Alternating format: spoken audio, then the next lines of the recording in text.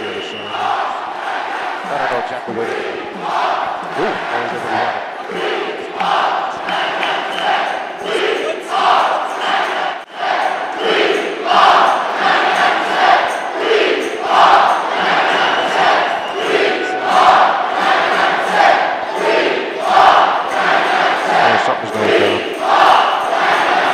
Go ahead and do a repo if you can.